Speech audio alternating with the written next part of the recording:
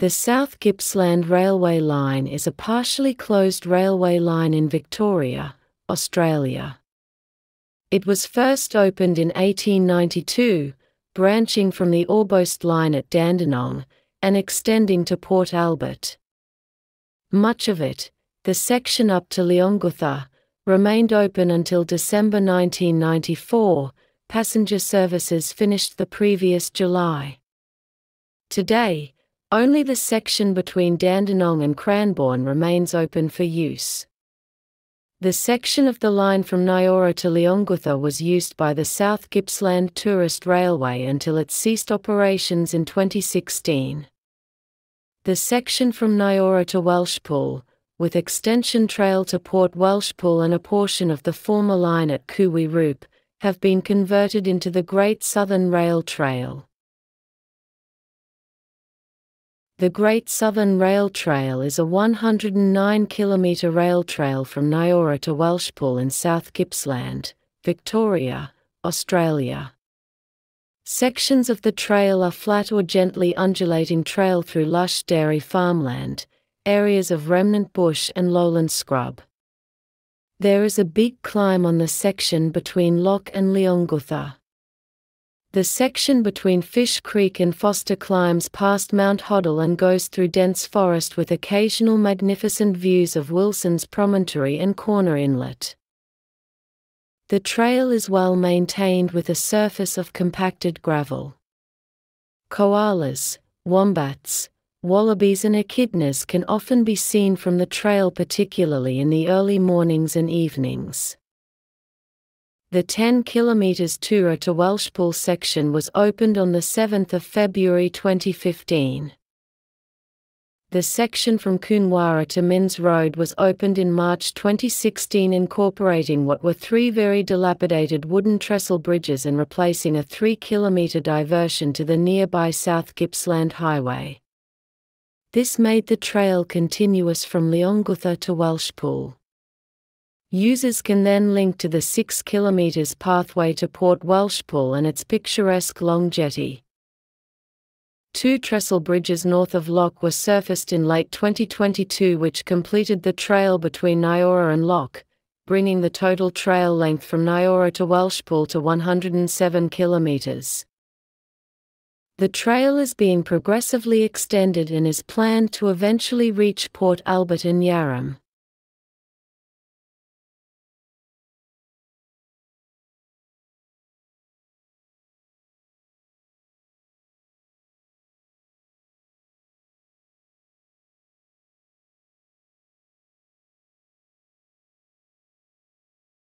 The following footage will see my journey from Tessie's Run, where I was staying, to Meeniyan early in the morning.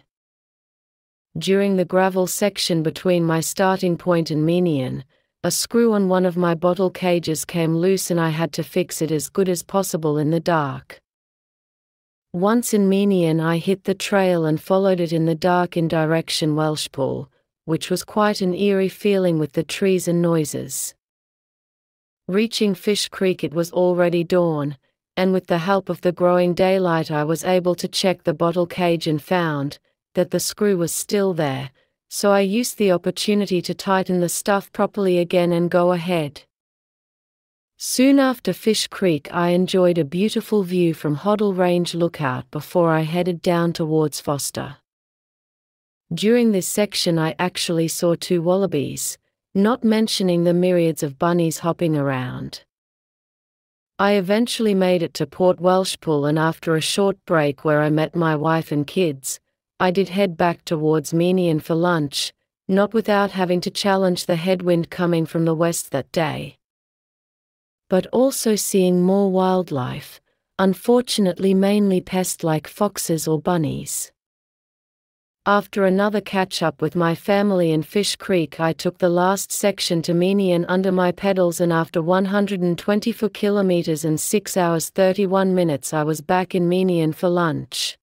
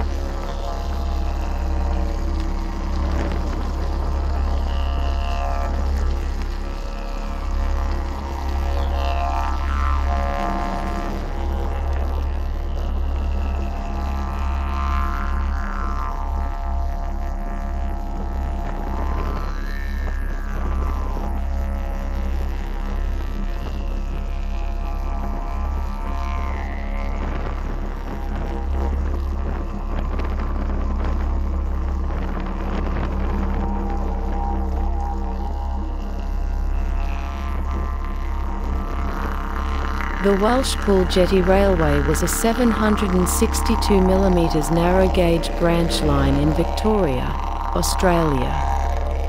It opened on the 26th of June 1905 and was operated as a horse-drawn tramway, connecting Welshpool Station to Port Welshpool.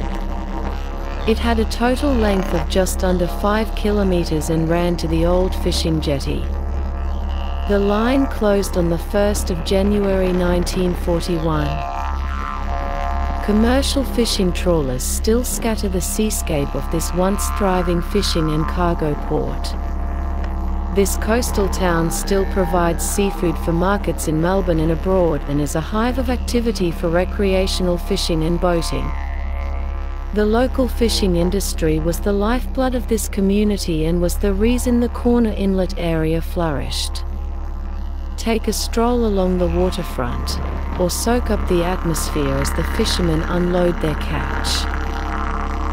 Picnic and barbecue facilities provide the perfect spot to celebrate the beginning or end of your trail adventure.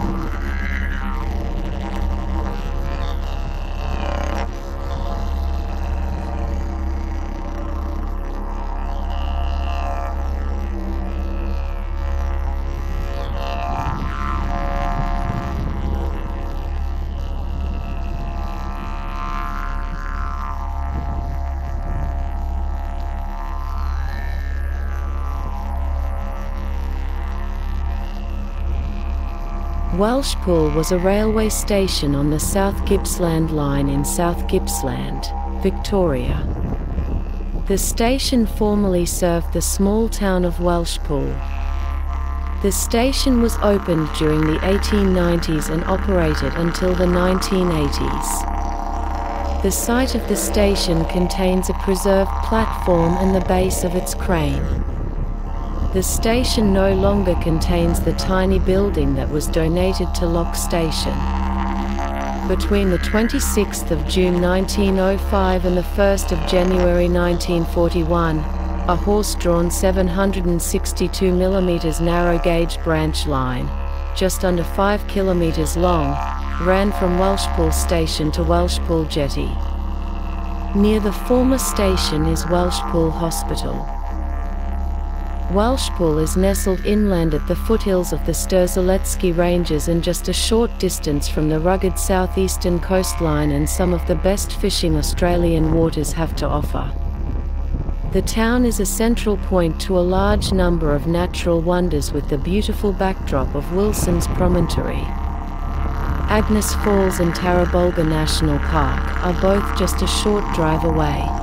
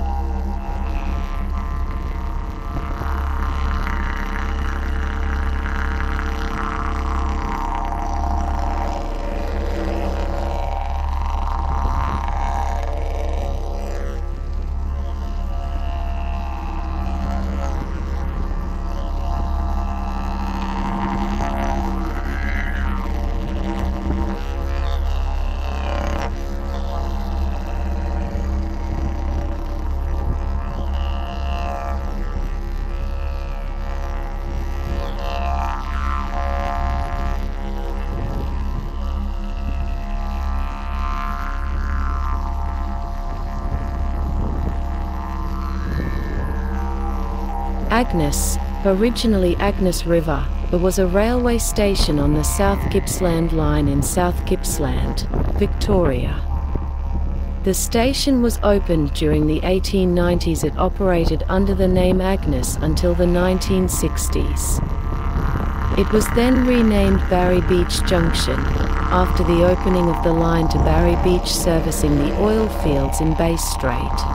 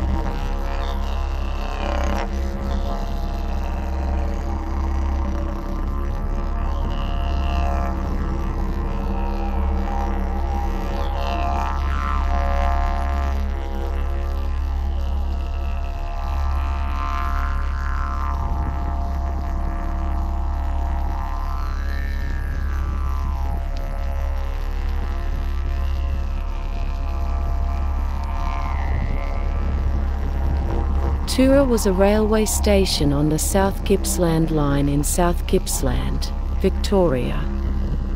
The station was opened during the 1890s and operated until the line was closed in 1991. At the same time the line to Barry Beach servicing the oil fields in Bass Strait was closed. The line was dismantled and turned into the Great Southern Rail Trail. Toora is situated at the foot of Mount Best with Mount Fatigue to the north. Both offer spectacular views of Corner Inlet and Wilson's Promontory. In the hills northeast of the township, you will find one of Victoria's first wind farms in the spectacular Agnes Falls, the state's highest single-span waterfall. Agnes Falls is easily accessible by car from Toora. Just follow the signs from Silcox Hill Road. An internationally recognized wetlands site, featuring a bird hide for observing the variety of migratory birds, is also just a short journey from town. Many of Toora's historic buildings still remain and can be visited by following the trail markers to the Royal Standard Hotel, the Bank of Victoria Limited, the Union Bank of Australia and the Great Southern Cooperative.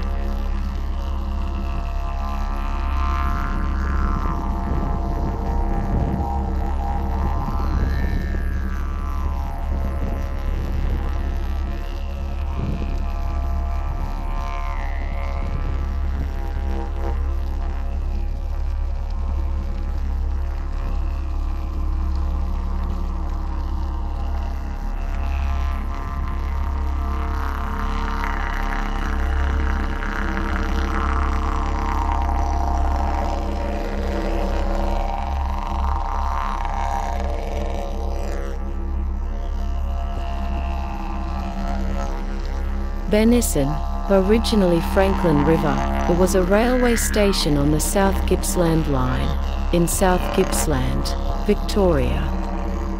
The station was opened during the 1890s and was closed to all traffic the 1st of August 1973, at a time when many other stations and lines were closing around Victoria. The line was closed in 1991, at the same time as the line to Barry Beach, servicing the oil fields in Bass Strait, was closed. The line was then dismantled and turned into the Great Southern Rail Trail.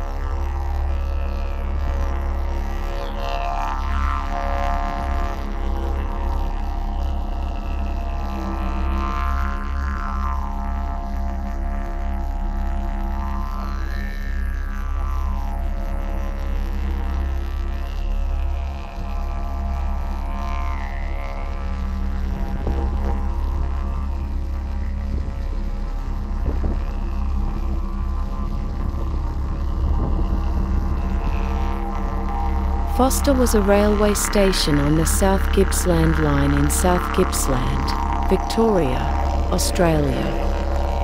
The station was opened during the 1890s operated until 1992 when the line to Barry Beach servicing the oil fields in Bass Strait was closed. The line was dismantled and turned into the Great Southern Rail Trail.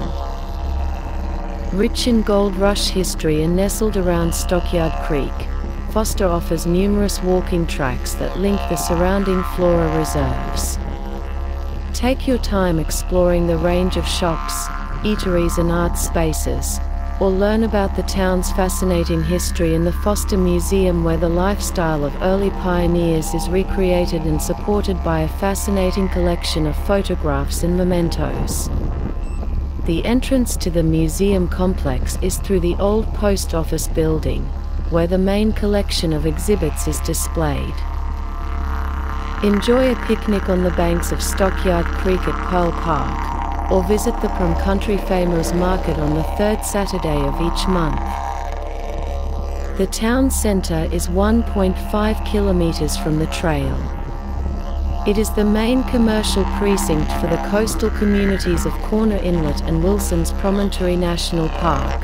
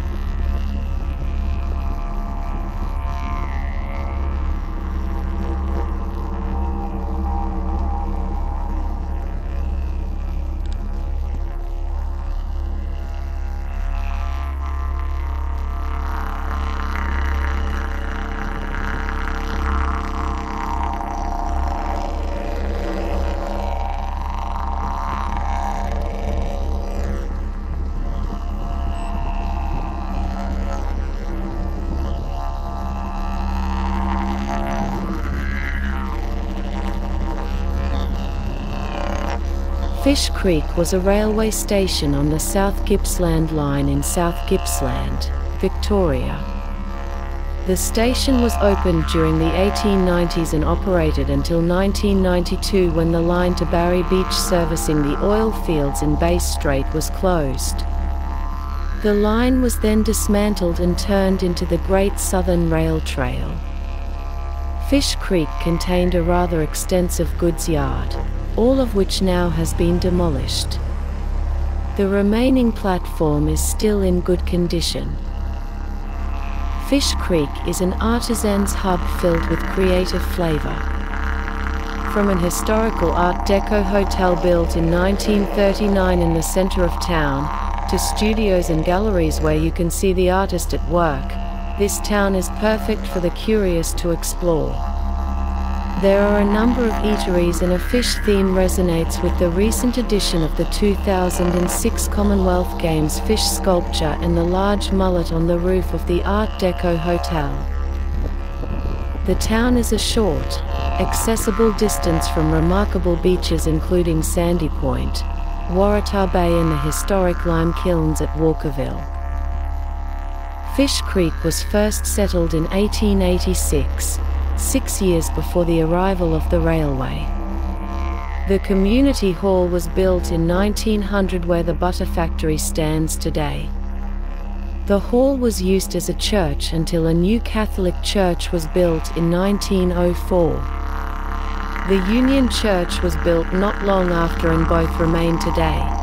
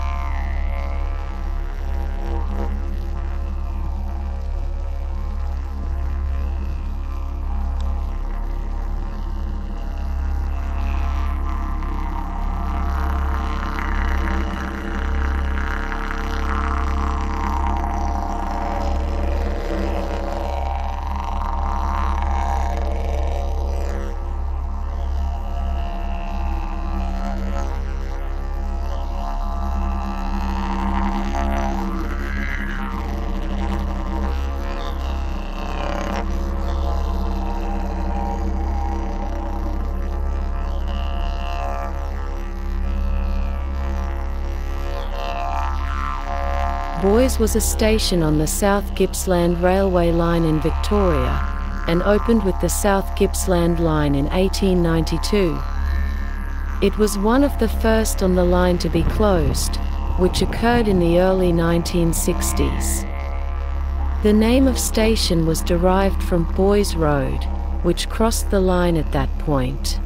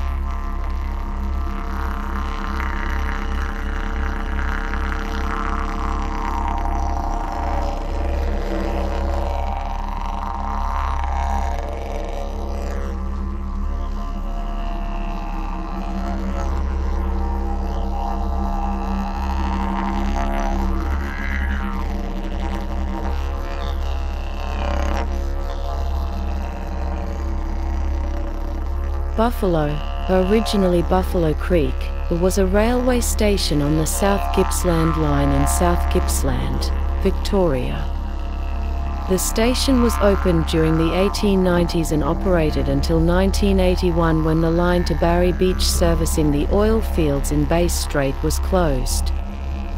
The line was then dismantled and turned into the Great Southern Rail Trail. All that remains at Buffalo is a pivot shed, platform mound and a buffer stop. The line to Barry Beach was later dismantled in 1994 and turned into the Great Southern Rail Trail, to Foster. The town was originally settled in the late 1800s as part of the rail link between Foster and Leongatha. Remnants of the old Buffalo station can still be seen. A playground, Amenities and plentiful parking provide a welcome rest stop and it is only a short walk or ride into the village of Buffalo.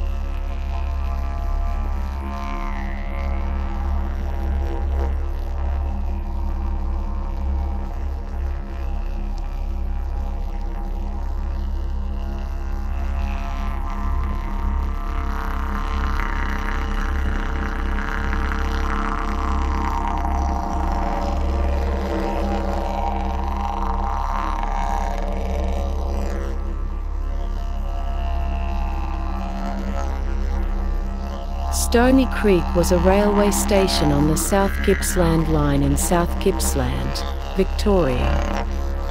The station was opened during the 1890s and operated until the 1970s. The line was closed in 1991 and turned into the Great Southern Rail Trail. The Great Southern Rail Trail passes by Stony Creek with great views of the wetlands, go-kart track and racecourse. From Stony Creek it is a leisurely 3 kilometers to Meeniyan, 8 kilometers to Buffalo and 16 kilometers to Fish Creek.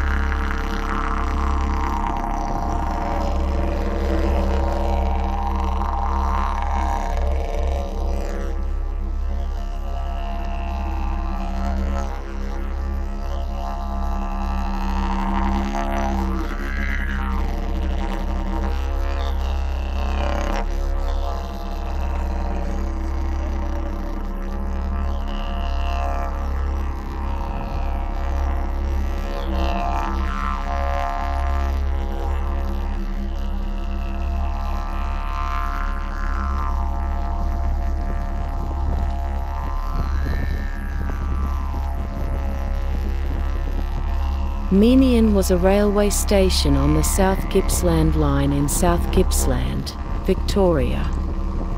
The station was opened during the 1890s and operated until 1992 when the line to Barry Beach servicing the oil fields in Bass Strait was closed.